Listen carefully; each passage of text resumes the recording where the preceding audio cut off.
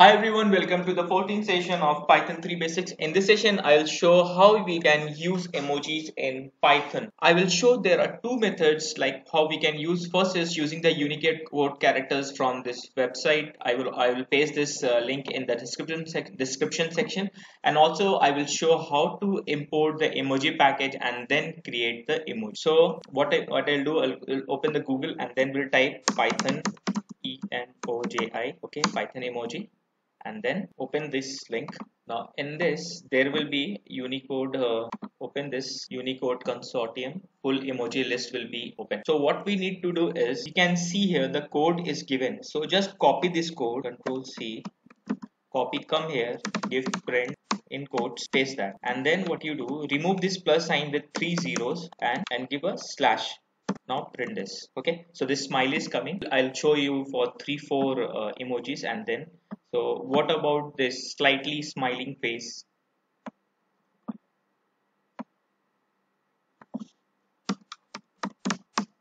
Again, copy this inside uh, inside the quotes and then remove this zero by, plus by three zeros and give a backslash and then print this. Execute this. So this is like I'll show you for one more uh, smiley.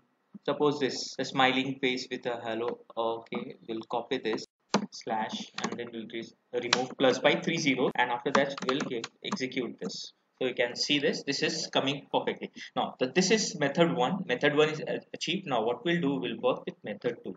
So for that what we need to do just give go to anaconda prompt open this and then type pip install. Pip install execute this and then come here. Once you execute this then after that you execute here. So this emoji is installed proper after that what we need to do see emoji will have lot of options. If you give emoji dot if you give this uh, emoji alias unicode characters and if you execute this it will show you all the different uh, emojis and the aliases. Suppose there are n number of aliases. We'll say x is equals to uh, here. Okay? Now it will be in our so what will happen here this plus one means up uh, means thumbs up and plus minus one is thumbs down.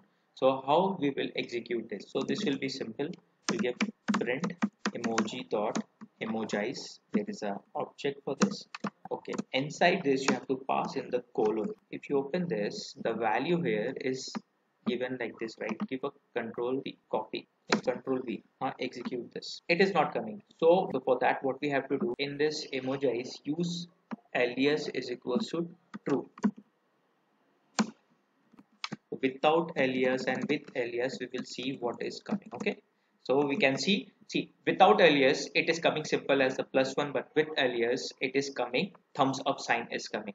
Now similarly we will i will show you different kind of options what we can print. Now if we want to print this one two three four colon one two three four with alias and without alias how it will one two three four?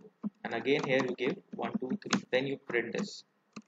See without alias it's not working but with alias it is working perfectly. So this is how we will we can use uh, emoji package and we can print the different emojis.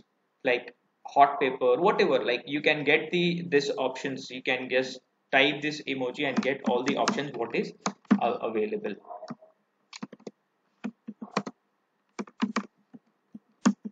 okay using this emoji alias unicode because this will give you the unicode character uh, which is mapped along with it uh, the images.